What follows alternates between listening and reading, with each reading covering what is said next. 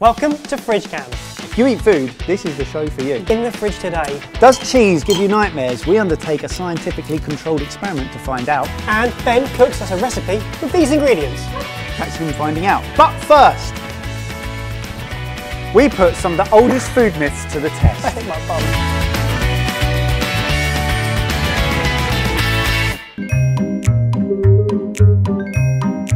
Myth one, microwaving food is unhealthy.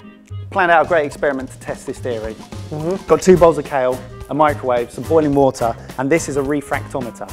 We're gonna boil some kale in both a microwave and a pan of boiling water. We're gonna see if the microwave kale still has the same amount of density as the boiled, and therefore whether it kills the nutrients in it or not. This is the boiled in a pan kale. Is that scale going up? No, that was just you dropping green liquid onto it. Let's just dip it straight in, see what happens. Take your finger off it. Oh, there you go. What, what, what's happening? It's 6%. 6% Brix. Have a look at that. What does that say? One Brix. That's 1% Brix. So the water that was coming out of the kale from the microwave Yeah. has lost more nut- has lost less nutrients than the one that we boiled. Is this the bit where we go over to Jamie? We need to go to the science. Yeah, science bit please, because we're struggling. A microwave emits radiation. Now that sounds big and scary, but actually the radiation that it emits is about a thousand times weaker than anything that could do any harm. That radiation moves energy, and that energy moves the molecules in the food around. Now those molecules, when they move, create heat, and the heat is what heats up the food. Because the microwave is only moving the molecules around, it's not destroying the nutrients any more than boiling them would. In fact, because it cooks quicker in a microwave, you could say it destroys fewer nutrients. Myth 2. Keeping a silver spoon in an open bottle of champagne will keep the fizz in for longer. Here's what we've done. Two bottles of champagne, exactly the same. Opened at exactly the same time last night. One had a silver spoon put in it. Both put into the fridge at the same time, both taken out of the fridge at the same time, and here they are. We're going to test are they equally as fizzy? Exactly. We're going to do that by pouring both into separate glasses. We're going to count accurately the number of bubbles that we can see. and then we're going to taste them and see what we think. That's fairly even bubblage. Yeah, very even bubblage. What are we toasting to? Um, the abolition of ridiculous myths. Oh, Oh, sorry. Oh, so, Oh, you that's didn't to- and then, yeah, round. can't tell the difference. I don't know if there is a difference. The hell do you think you're playing at? There have been lots of tests on this, some more formal than this one, and they've all failed. The fact is, the bubbles get into the liquid via pressurization. Once the cork has been popped, the bubble's going to get out no matter what. Carbon dioxide is most soluble in cold liquids, so keep it in the fridge for as long as possible, and the bubbles should remain there for a while, and then they'll escape, and then you're screwed. Myth number three Do carrots help you see in the dark? This one is probably the most scientific so far. Um, three hours ago, we put Jamie through an eye test in the dark. It's not quite pitch black. No, but I can still see things. You can see me, yeah? Yeah. Right. Here's your card. E. A C Z O O P P T M N S. After counting his score, we then got Jamie to eat how many carrots? Six. Six carrots.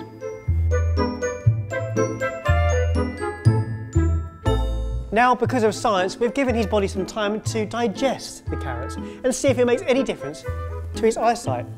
A S C T O Z F E L N M. You got two wrong again on the bottom row. But it was so scientific.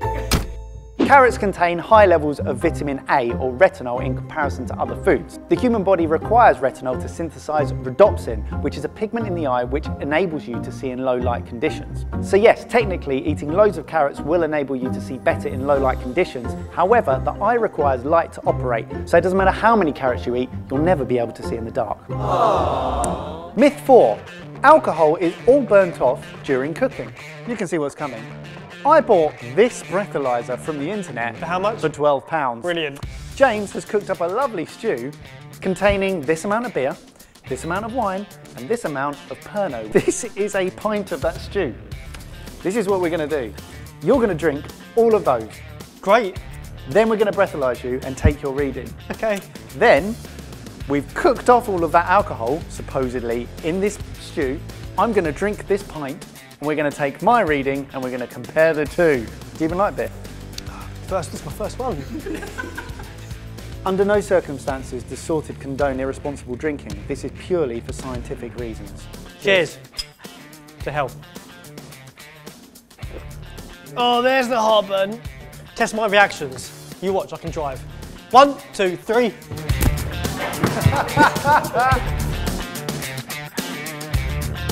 You were 0.00, I was 0.02. Let's see if those figures have gone up. 0.07. It's high, it says. How am I going to get home? Go. No, keep going. You've gone down. 0.00. Science. what does that mean? Alcohol burns at 78.5 degrees Celsius. We usually cook things at a bigger, higher temperature than that. So you would expect the alcohol to get burnt off when you cook, right? Wrong. Alcohol actually evaporates if left open at any temperature. It's just that when heat and time are applied, the more alcohol evaporates. So basically, the hotter the temperature and the longer that the alcohol is left at that temperature, the less alcohol left in the end dish. Myth number five, eating cheese before bed gives you nightmares. A study by the British Cheese Board, I know, concluded that in fact it doesn't give you nightmares, but it does give you more colourful and vivid dreams. What is weird is that different cheeses give you different types of dreams. So Stilton might give you weird and wacky dreams, whereas Cheddar might give you people-centric dreams, like dreaming of celebrities, and Red Leicester might give you nostalgic dreams. Believe what you want, but the science behind it is that milk contains an amino acid called tryptophan. Cheese is basically just concentrated milk. Your body needs tryptophan to produce serotonin, which is a sleep-inducing hormone. So cheese doesn't give you nightmares, but maybe it gives you more vivid dreams. So we gave different members of the Sorted Food team different cheeses to try last night. We all ate them before bed, and you're going to see the results in the aftertaste. Speaking of cheese, let's see what Ben's come up with in the kitchen. Right, mate, what have you got for us? I've written a recipe and I think it involves as many of the myths as possible. We've got carrots, we've got flat champagne, we're going to burn some of the alcohol off and it's got a lot of cheese. It's a cheese soup. So it begins with a couple of shallots which we're going to peel and finely dice, a couple of carrots which we're going to peel and finely dice, and a couple of cloves of garlic which we're going to peel, Peel and finely dice. Barry's oh, battered. he keeps on adding sound effects to me chopping garlic. Yeah, let's Listen. Wow. Oh, what's this one? Shing, shing, shing, shing, shing, shing. Keep the dice nice and fine, it will cook nice and quick. Plenty of butter into a pan, sweat it off with a lid. Take about 10 minutes. The liquid of our soup, a glass of flat champagne, great use for it if you've got any left, some apple juice and some veg stock. Splash it all into the pan with a little bit of paprika and bubble it away for about 20 minutes. Are you confident that this is going to work? It's pretty easy. It's a very simple soup. The only thing is whether there is enough cheese to give that the body we want. I haven't got the body I want. According to your notes, Ebbers, it says brie, break in, melt and blitz next. Yeah, that's pretty much it. So most of the alcohol's bubbled off. We've chopped the brie because it's oozy and that'll be easier. It needs to melt and then we'll blitz it smooth. Then season to taste. You definitely only need a very small portion and we'll pour it in. That is cholesterol. That is cheese soup. A little pinch of paprika and there we go. Cheese soup sorted. Right, let's try this. Oh, that is rich. Oh, I really like that. That's not too cheesy for me. Now, we really like that, obviously, but all of our recipes and sorted food are tried and tested, which means you do get more than one round of applause when you cook them. Yeah.